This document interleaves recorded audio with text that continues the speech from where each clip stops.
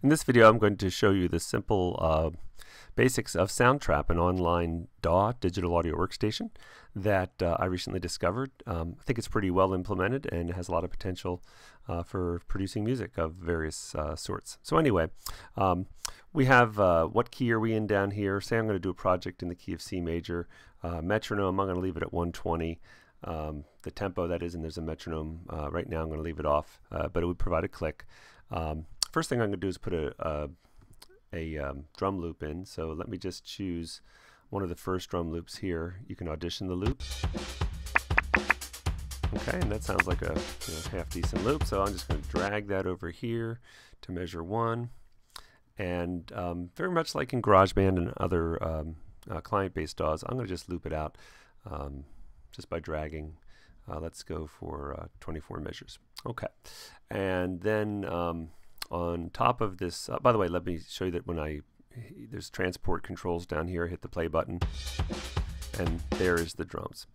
Um, in the next track, I'm going to put a bass line. Now for this one, I'm going to do something kind of cool. I'm going to click on Add Track. Um, I'm going to use uh, a MIDI device, um, and that is I have a, a small uh, external USB MIDI keyboard hooked up to my laptop that I'm using right now.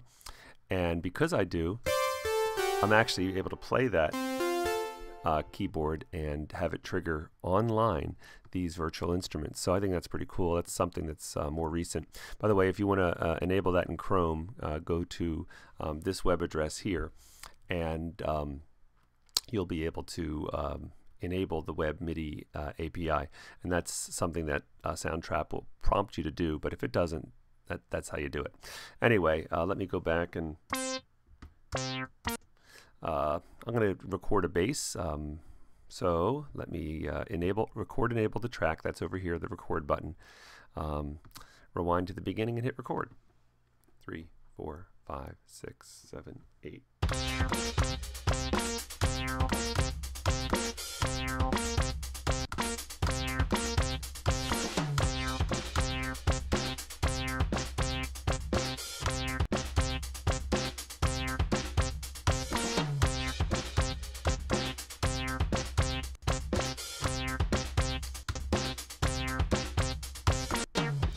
And I could go on and on, but I'm just going to, since I can loop, I'm going to just stop it right there.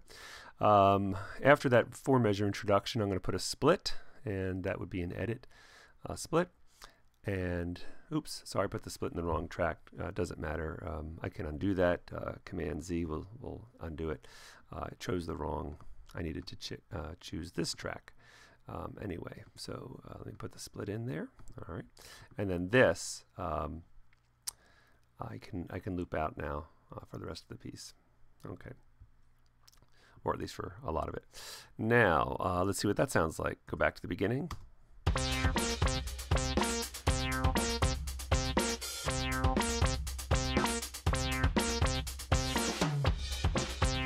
Drop the first note there. Okay, so um, what I wanted to do actually, because that that one measure we uh, sort of dropped um, the very first note is um, I'm going to try to see if I can draw in. Uh, I've never even done this yet, but there must be a way to draw in notes. So in uh, real time, I'm going to figure this out. Um, I'm going to press the Option key. Does that give it to me? Command key. Ah, okay. So just by um, command clicking, you can get uh, a note, and I'm going to drag that note on the downbeat. Go back out to um, click that X there, and go back out to the, uh, the regular track. And now let's hear what measure 5 sounds like. Yeah, so I was able to actually edit that MIDI data. Okay, you get the idea. And uh, maybe I think this is a little loud, so I'll pull it back. All right, now, uh, and for my next track, I'm going to put some uh, chords. I'm going to, again, use um, a Soundtrap instrument. Um, uh, we were just doing a bass line, so I think I'll put um, a synth pad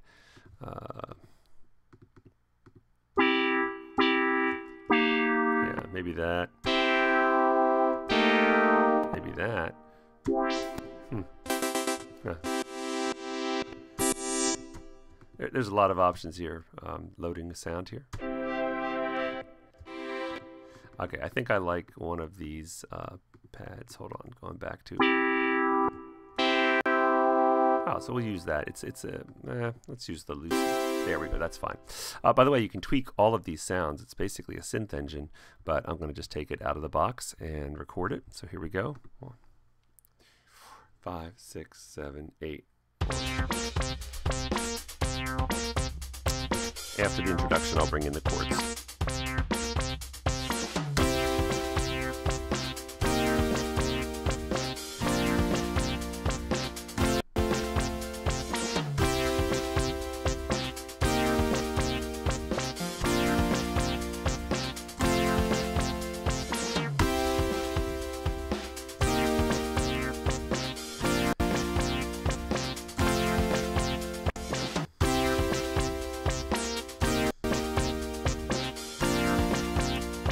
Be enough.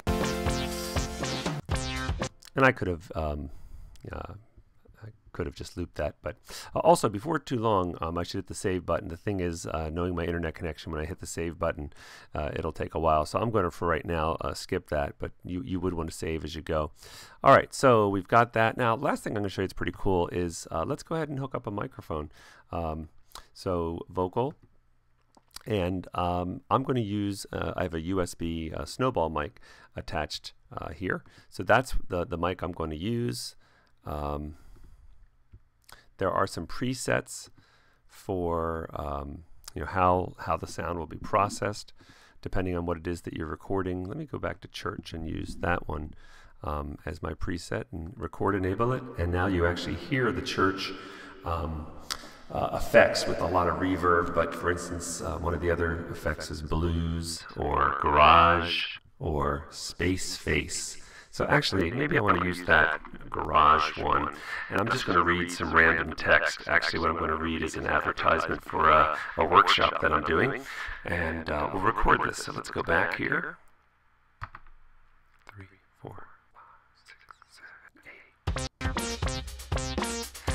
The introduction, I'll cut it out. Here we go. Blended learning involves using online resources to maximize face-to-face -face learning opportunities. Discover how video tutorials, podcasts, use of wikis, and more can augment and strengthen your classroom, elective, and ensemble music making.